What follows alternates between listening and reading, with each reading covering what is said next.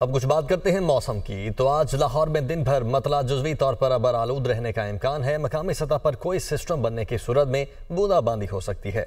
मौसम के बारे में मजीद बता रहे हैं सुहेल कैसर।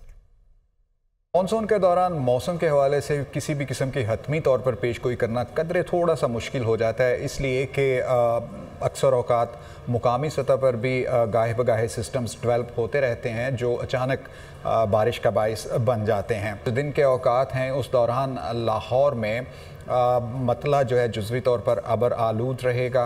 हो सकता है कहीं पर कोई बूंदाबांदी का सिलसिला भी हो जाए, लेकिन किसी बड़ी बारिश का इम्कान नहीं है।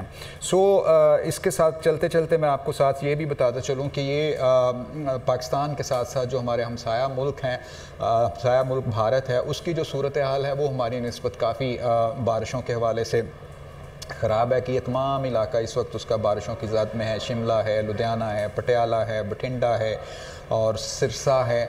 इसके साथ साथ फिर ये आगे से ऊपर पाकिस्तान की सरहद की तरफ़ भी ये प्रिवेल कर रहा है। लेकिन अभी पाकिस्तान के अंदर इसने मुकम्मल तौर पर प्रिवेल नहीं किया। इसीलिए आज किसी बड़ी बारिश का इम्कान ज़ाहिर नहीं किया गया।